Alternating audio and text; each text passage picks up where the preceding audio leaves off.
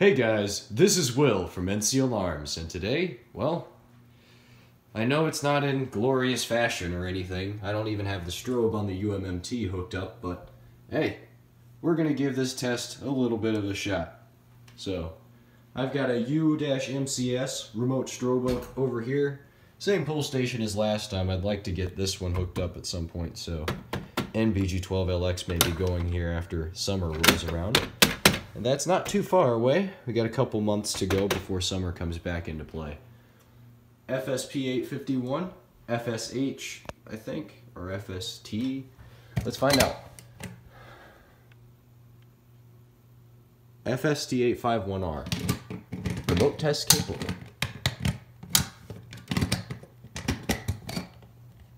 Alright, that's back on. It's probably going to go into trouble. Maybe. We'll see. Oh, wait, no, it's not because I don't have that programmed in. Never mind. Lol. That's funny. Anyway, let's pull the alarm.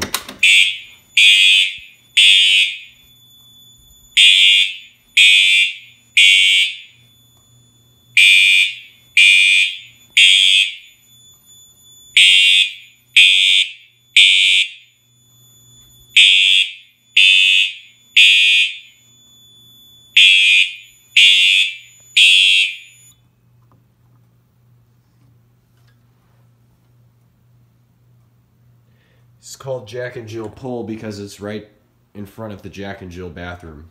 That's what this door leads to. That door leads out to the hallway. Reset the pull station. Done. Drill.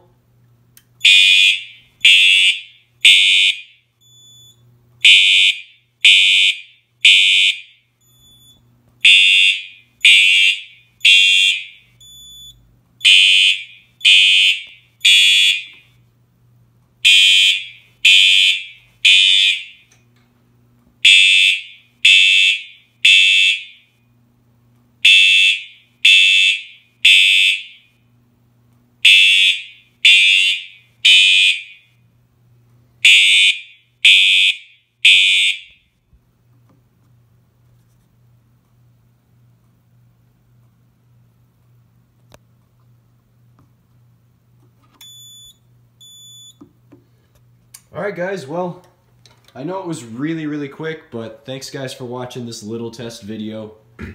it's not really qualifying in my mind for an NFS test number three, but you guys can call it what you want. This is just a little video to get you guys through until I have some more time to make an official video and put some real effort into this. I'm just going to end up uploading it raw, so thanks guys so much for being patient with me these past couple weeks. I've been dealing with a lot of stress and I've been dealing with a lot of uh, heavy classwork. So thanks for sticking with me. My name is Will.